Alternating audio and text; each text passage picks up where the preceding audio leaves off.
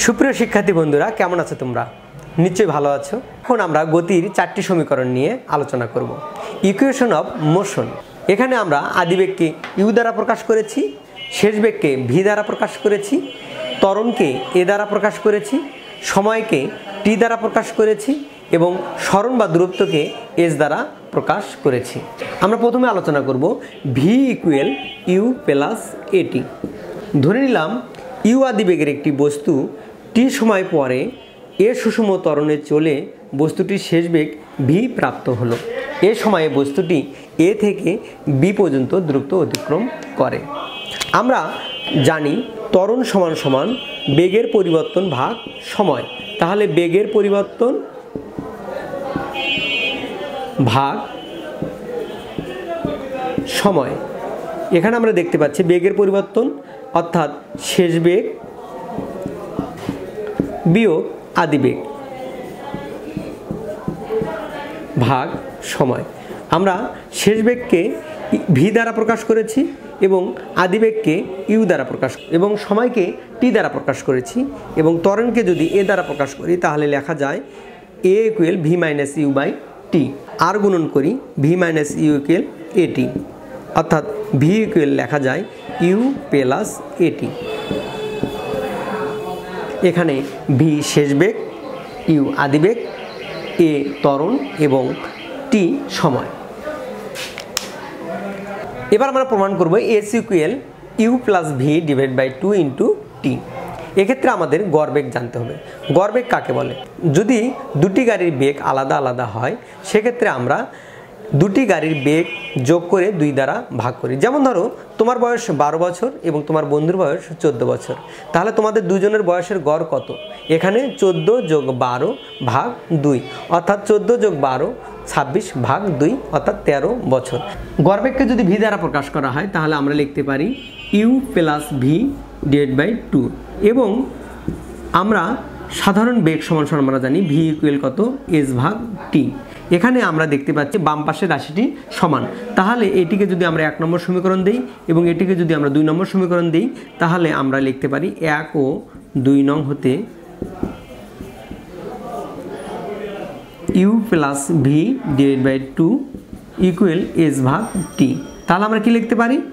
Two S equal U plus V into T বা S equal লেখা যায় U plus V divide by two into T অর্থাৎ এখানে স্মরণ এস আদিবেগ ইউ শেষ বেগ ভি এবং সময়কে টি দ্বারা প্রকাশ করা হয়েছে।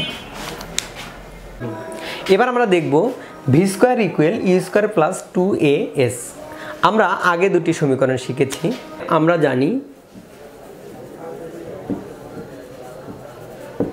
ভি ইকুয়েল ইউ প্লাস এটি এবং S equal U plus V divided by two into T এখানে এটিকে যদি এক নং সমীকরণ দ্বারা প্রকাশ করি এবং এটিকে যদি দুই নং সমীকরণ প্রকাশ করি, আমরা প্রমাণ করব V square equal U square plus two A S বিষয়টি মনে রাখার জন্য আমরা একটি টেকনিক অবলম্বন করতে পারি। সেক্ষেত্রে দেখা যাচ্ছে এখানে কোন রাশিটি নেই, এখানে সময়ের মানটি নেই। অর্থাৎ এখান থেকে আমরা এক নং সমীকরণ থেকে যদি টি এর মানটি যদি দুই নং সমীকরণে বসাই, তাহলে আমরা পেয়ে যাব V square equal E square plus two A S এক নং হতে আমরা পাই V equal U plus AT আমরা পক্ষান্তর করলাম ভি অর্থাৎ এটি ইকুয়েল লেখা যায় ভি মাইনাস ইউ এবং টি ইকুয়েল লেখা যায় V minus U by A এখন আমরা টি এর মান দুই নং সমীকরণে বসাই।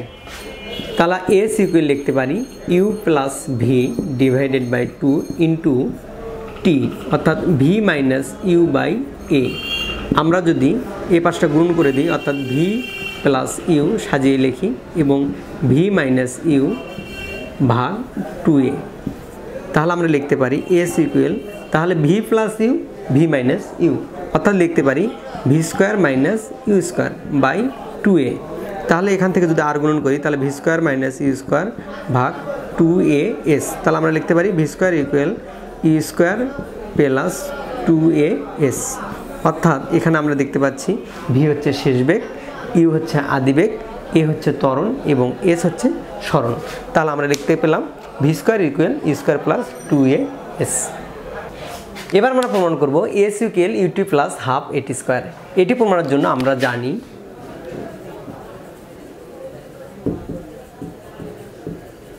ভি ইকুয়েল ইউ প্লাস এটি এবং S equal U plus V divided by two into T এ দুটি সূত্র আমরা আগেই প্রতিপাদন করেছি, এক এবং দুই। তাহলে এখানে আমরা দেখতে পাচ্ছি S equal UT plus half AT square কোন রাশিটি নেই? সূত্রটির দিকে লক্ষ্য করলে দেখা যাচ্ছে এখানে ভি রাশিটি নেই। অর্থাৎ এক নং সমীকরণ থেকে যদি ভি এর মান দুই নং সমীকরণে বসাই, তাহলে আমরা পেয়ে যাব S equal UT plus half AT square. আমরা দেখি এক নং হতে ভি এর মান দুই নং সমীকরণে বসাই।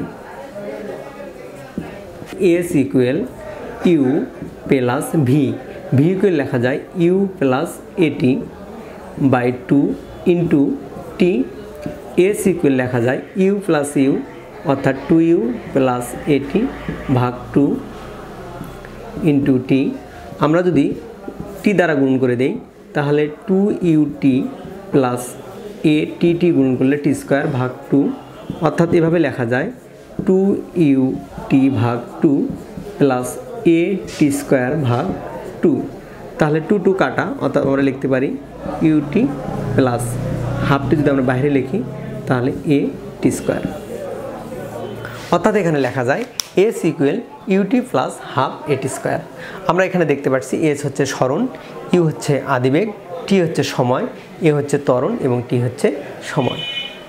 আমরা দেখে ফেললাম গতির চারটি সমীকরণ। এতক্ষণ সাথে থাকবার জন্য ধন্যবাদ এবং পরবর্তী এপিসোডগুলোতে আমরা গতির আরও যে বিষয়গুলো রয়েছে সে বিষয়গুলো নিয়ে আলোচনা করব। পরবর্তী ভিডিওগুলো পাওয়ার জন্য আমাদের সাথে থাকুন। ধন্যবাদ সকলকে।